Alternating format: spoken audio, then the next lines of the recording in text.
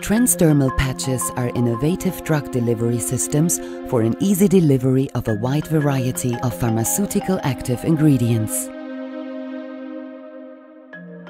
The basic components of the transdermal patch are an outer backing film of plastic or foil and a pressure-sensitive adhesive that anchors the patch to the skin. The drug is dissolved or dispersed in an inert polymer matrix that provides support and the platform for drug release.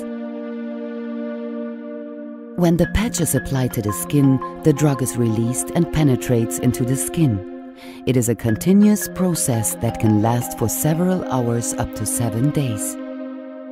As the drug moves further into the skin, it is absorbed into the local capillary system. The bloodstream then transports the drug molecules to the site of action. For the patient, the administration of drugs through a transdermal delivery route can have remarkable advantages.